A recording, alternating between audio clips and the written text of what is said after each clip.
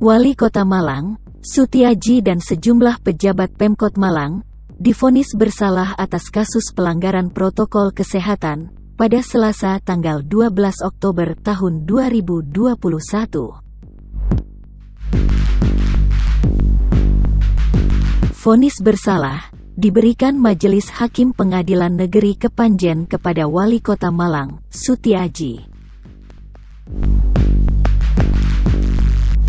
Juga kepada Sekda Kota Malang, Erik Setio Santoso, dan Kabak Umum Kota Malang, Arif Trisistiawan, dalam sidang putusan akhir.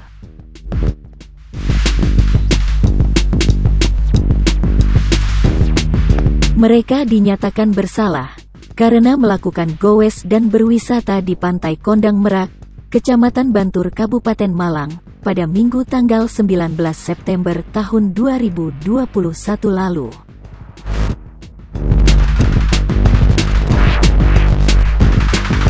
Sementara itu, Wali Kota Malang, Sutiaji mengaku legowo atas hasil putusan hukum tersebut. Sebagai warga negara Indonesia, ia menerima segala konsekuensi hukum yang berlaku.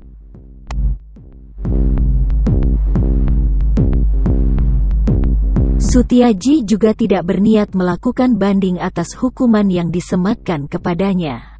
Politisi Partai Demokrat ini menyatakan, tidak ada pihak yang dirugikan atas putusan vonis itu.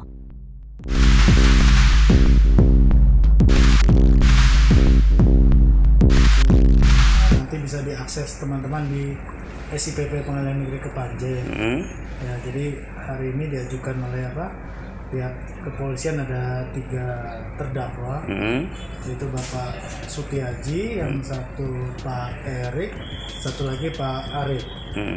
Ya, dan pada intinya dari isi putusan itu uh, mereka bertiga menyatakan bersalah melanggar prokes sesuai uh, pergub uh, Jawa Timur mm -hmm. pasal 49 mm -hmm. ya mm -hmm. jadi di situ masing-masing untuk Pak Sutiaji dijatuhkan hukuman uh, denda 25 juta rupiah apabila denda tersebut tidak dibayar maka diganti uh, pidana kurungan selama 15 hari mm -hmm.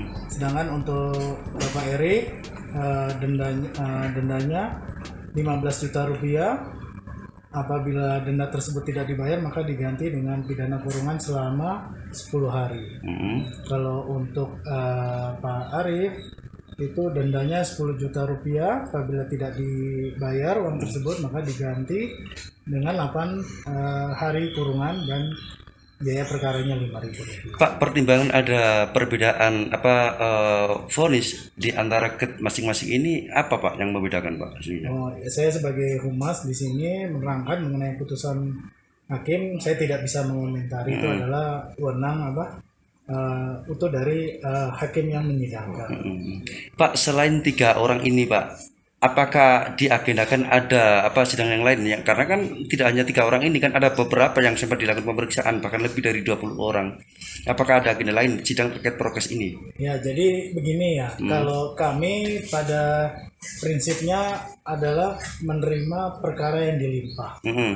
jadi kalau memang nanti ada lagi yang dilimpah kaitannya dengan uh, permasalahan Pak Sutiaji dan kawan-kawannya maka kita akan uh, sidangkan karena hmm. kami sifatnya tidak uh, bisa menolak perkara yang dilimpahkan kepada kami. Tetapi sejauh ini hanya tiga ya, orang saja ya? Ya, karena tiga yang dilimpahkan oleh pihak kepolisian maka itulah yang kita sidangkan. Hmm. Arif itu apa pak? Kalau Arif itu kalau nggak salah di bagian umum kalau untuk lebih tepatnya saya juga belum. Uh, Bapak nama lengkapnya siapa bapak? Ya, Malang Raya, Malang Raya saya.